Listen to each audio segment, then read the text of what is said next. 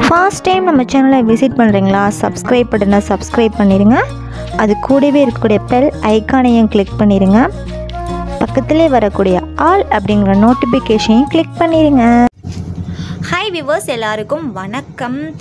ரொம்ப நாள் கழித்து பார்த்தீங்கன்னா இன்றைக்கி ஒரு விவசாய வீடியோ அதுவும் தென்னைந்தோப்பு பராமரிப்பை பற்றி ஒரு சில விஷயங்களை வந்து உங்களுக்காக வந்து ஷேர் பண்ண போகிறேன் என்னோட சேனலில் பார்த்தீங்க அப்படின்னா வந்து நிறைய பேர் வந்து விவசாயம் சம்மந்தப்பட்ட வீடியோஸ்க்காக தான் வந்து சப்ஸ்கிரைப் பண்ணியிருக்கீங்க. அதுக்கும் வந்து மேக்ஸிமம் சப்ஸ்கிரைபர் பார்த்தீங்க அப்படின்னா வந்துட்டு தென்னைந்தோப்பு. இதை பற்றி ஏதாவது டிப்ஸ் சொல்லுவாங்களா அப்படிங்கிறதுக்காக தான் என்னோட சேனலை வந்து சப்ஸ்கிரைப் பண்ணியிருப்பீங்க அதனால் வீக்லி ஒன்ஸ் வந்து என்னால் முடிந்த வரைக்கும் எனக்கு தெரிந்த தகவல்களை வந்து உங்களுக்காக வந்து ஷேர் பண்ணுறேன் ஓகே ஃப்ரெண்ட்ஸ் வாங்க வீடியோக்குள்ளே போகலாம். இது வந்துட்டு நிறைய வீடியோவில் நீங்கள் வந்து பார்த்துருப்பீங்க. எங்கள் வீட்டு குட்டி தென்னந்தப்பு அதாவது ஒரு நாலு வருஷத்துக்கு உட்பட்ட தென்னை மரங்களும் இருக்கும். ரொம்ப குட்டி குட்டி கண்ணில் இருக்கக்கூடிய தென்னை மரங்களும் இருக்குது தென்னை கன்றுகளும் இருக்குது நிறைய வீடியோஸில் வந்து காமிச்சிருப்பேன்.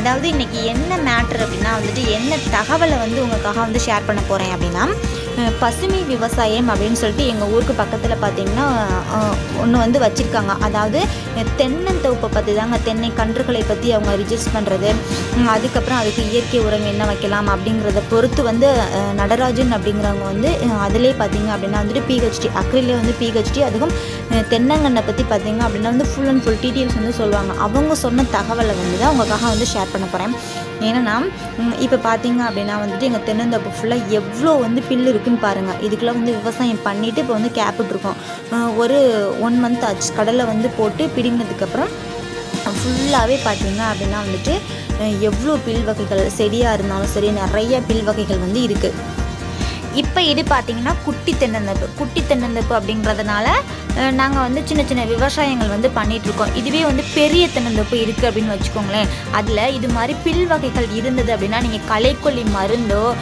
அதாவது அப்பப்போ மாதம் ஒரு முறை வந்து இது மாதிரி ஆள் விட்டு அந்த பில்லெல்லாம் வந்து அகற்ற வேலை வந்து இனிமே வந்து வச்சுக்காதீங்க. என்னென்னா இது நான் சொல்கிறது கிடையாதுங்க. திரு நடராஜன் அப்படிங்கிறவங்க வந்து சொன்னது என்ன அப்படின்னா நிறையா பில் வகைகள் வந்து தென்னந்தப்புக்கில் இருக்குது அப்படின்னு வச்சுக்கோங்களேன். அது வந்து அதிகமான ஈரப்பதத்தை வந்து நமக்கு வந்து கொடுக்குமா?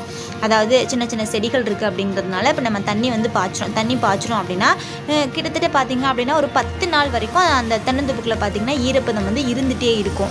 இருந்துகிட்டே இருக்கிறதுனால நமக்கு தேங்காயும் பார்த்தீங்கன்னா அதிகமாக வந்து காய்க்கிறதுக்கான வாய்ப்பு இருக்குது இல்லை அப்படின்னா வந்துட்டு நீங்கள் அதாவது நீங்கள் பார்த்தீங்க அப்படின்னா வந்து வேலையாட்கள் மூலமாக பதினஞ்சு நாளைக்கு ஒரு தரம் வாச மா மாதத்துக்கு ஒரு தரம் பார்த்தீங்க அப்படின்னா அந்த பில்லெல்லாம் வந்து அகற்றிடுவீங்க அப்படி அகற்றுறதுனால பார்த்தீங்கன்னா நமக்கு நமக்கு வந்து எந்த யூசஸுமே இல்லையா இப்போ குட்டி தென்னந்தோப்பை நீங்கள் வந்து விட்டுருங்க பெரிய தென்னந்தோப்பு அப்படின்னா இது மாதிரி நிறைய வந்து பில்லை வந்து வளர்த்துக்குங்க. சப்போஸ் உங்களுக்கு அது வந்து ஒரு இடைஞ்சலாக இருக்குது டிஸ்டர்பாக இருக்குது தண்ணி பாய்ச்சறதுக்காக இருந்தாலும் சரி தேங்காய் வெட்டி போடும்போது அதை ஆள் விட்டு நம்ம அழுறதுக்கும் சரி டிஸ்டர்பாக இருக்குது அப்படின்னா இது மாதிரி ஆடு மாடுகள் நீங்கள் வச்சுருந்தீங்க அப்படின்னா ஆடு மாடுகளை வச்சு கட்டி விட்டு வந்து மேய்ச்சிடுங்க. அதோட முனியை மட்டும் தான் சாப்பிடும் அதோட வேர் வந்து கீழே தான் வந்து இருந்துகிட்டே இருக்கும். அதனால நமக்கு ரொம்ப வந்து யூஸஸ்ங்க எங்களுக்கு பார்த்தீங்கன்னா இப்போ பாருங்கள் தெ தென்னந்தங்கன்று பார்த்தீங்க அப்படின்னா வந்து குட்டி குட்டியாக இருக்குது முன்னாடி பார்த்தீங்க அப்படின்னா வந்து இந்த மாதிரி கிடையாதுங்க.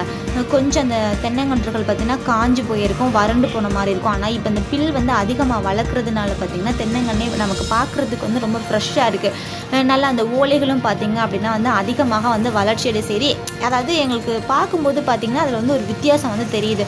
ஸ்டார்டிங்கில் வந்து அவங்க சொல்லும்போது வந்து நம்பலை. சரி ஓகே பண்ணி பார்க்கலாம் அப்படின்னு சொல்லிட்டு நாங்கள் பண்ணி பார்த்துருந்தோம். ஸோ நல்லா இருக்குது இதுக்குள்ள இருக்கக்கூடிய பில்லெல்லாம் பார்த்திங்க அப்படின்னா வந்து எங்களுடைய ஆடு மாடுகளை விட்டு நாங்கள் வந்து மேய்க்க வச்சு சரி பண்ணிட்டோம். அதனால பார்த்தீங்கன்னா அதிகமாக தண்ணி பாய்ச்சணுங்கிற அவசியம் வந்து கிடையாதுங்க. ஒரு பத்து நாள் ஒரு பதினஞ்சு நாள் அது மாதிரி பாய்ச்சினா வந்து போதும். இது வந்து பெரிய தோ தென்னந்தோப்புக்கு பார்த்தீங்க அப்படின்னா நம்ம கரெக்டாக வந்து பக்குவமாக செய்ய முடியும். பட் சின்ன தென்னந்தோப்பு குட்டி குட்டி தென்னந்தோப்பு குட்டி குட்டி தென்னைங்கன்றுகள் அப்படின்னா வந்து நம்மளால் சரியாக வந்து கவனிக்க முடியாதுங்க. இந்த தகவல் பார்த்தீங்கன்னா நான் சொன்னது கிடையாது.